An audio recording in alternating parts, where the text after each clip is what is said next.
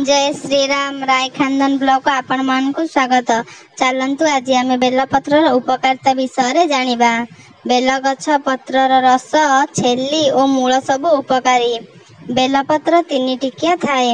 ବେଲଗଛକୁ ହିନ୍ଦୁ ଧର୍ମରେ ପୂଜା କରାଯାଏ। ସକାଳେ ବେଲପତ୍ରଟି ଆଣି ତାକୁ ଭଲ ଭାବରେ ପରିଷ୍କାରରେ ଧୋଇଦେବେ।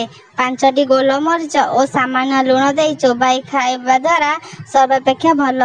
ଏହାଦ୍ୱାରା ଦେହର ଯାବତୀୟ ରୋଗ ଭଲ ହୋଇଥାଏ।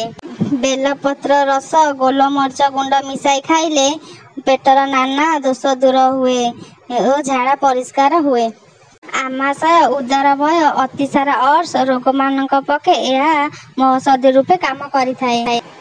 ଖରାଦିନେ ପାଚିଲା ବେଲକୁ ସର୍ବତ କରି ଖାଇଲେ ଏହାଦ୍ୱାରା ରକ୍ତ ସଫା ହେବା ଯୋଗୁଁ ଦେହର ରକ୍ତ ଉଜ୍ଜଳ ଦେଖାଯାଏ। ଓ ବ୍ରଣ ଉଠି ଆସୁଥିବା ସମୟରେ ତିନି ଗୋଟି ବେଲପତ୍ରରେ ତିନି ଗୋଟି ଗୋଲମରିଚ ମିଶାଇ ବାଟି ଲେପ ଦେଲେ ବଥ ବସିଯାଏ।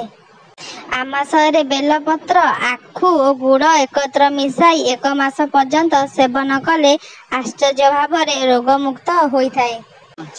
ବେଲ କଞ୍ଚା ଓ ପାଚିଲା ଉଭୟ ଉପକାରରେ ଲାଗେ। ହିନ୍ଦୁ ଧର୍ମରେ ବେଲପତ୍ରକୁ ଶିବଙ୍କର ଭୂଷଣ ରୂପେ କୁହାଯାଇଥାଏ। ଆଜିକାଲି ସମସ୍ତଙ୍କ ବାଡ଼ି ବଗିଚାରେ ବେଲଗଛ ଦେଖିବାକୁ ମିଳିଥାଏ। ଏବେ ଆପଣମାନେ ଜାଣିଲେ ବେଲଗଛର ଉପକାରିତା ବିଷୟରେ। ଏବେ ମୁଁ ରହୁଛି ଜୟ ଶ୍ରୀରାମ।